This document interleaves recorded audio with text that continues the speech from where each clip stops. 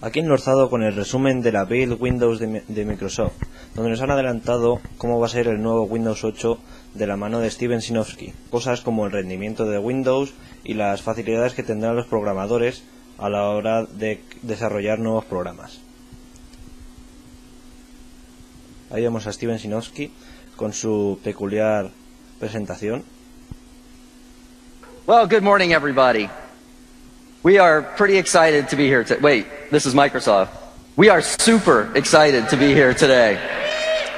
Entre las mejoras de rendimiento encontramos una sorprendente reducción del uso de RAM por parte del sistema, pasando de 400 MB de RAM en, en funcionamiento hasta los 280 MB de RAM y de 34 procesos hasta los 29 procesos que es lo que han prometido desde Redmond.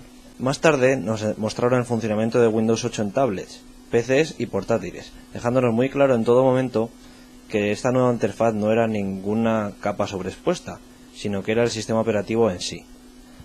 También nos enseñaron las nuevas formas de copiar y las aplicaciones de side by side, como lo quieren llamar allí, que son las partes en las que ponemos dos aplicaciones funcionando a la par en una misma pantalla.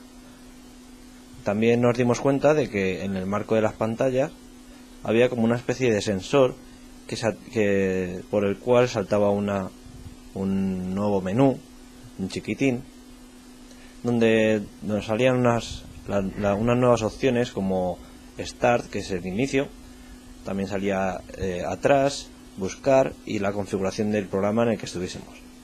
Ahora mismo podéis ver la reproducción de vídeo y la demostración de, las, de, lo que se había dicho antes de las aplicaciones side by side, donde se pueden agrandar, empequeñecer, etcétera, etcétera. Y luego para programadores, lo que sí confirmaron era que se podía programar en cualquier lengua, sea HTML, eh, CSS, cualquiera. Otra cosa que os quería eh, aclarar también, para aquellos que estén, que se fijen mucho en el rendimiento de las baterías, era que cualquier aplicación que estáis viendo aquí mismo, ahora mismo se está, está demostrando el, nuevo, la nueva forma de teclado, por cierto que también se puede con escribir con lápiz.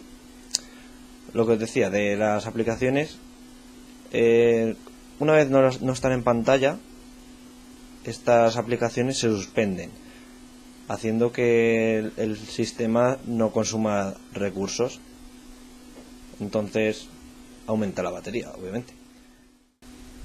La integración de Windows 8 también supuso o supone que el sistema operativo en sí también tenga aplicación para, para Twitter. Una vez que vas a hacer un tweet, por ejemplo, puedes añadir todas las fotos que tú quieras, ya sean de SkyDrive o del mismo disco duro, y luego compartirlo con, los, con tus amigos. Adiós. Bueno, y esto ha sido todo. Nos vemos en el próximo vídeo. Adiós. Si quieres seguir todos mis vídeos, suscríbase a mi canal pulsando el botón suscribirse.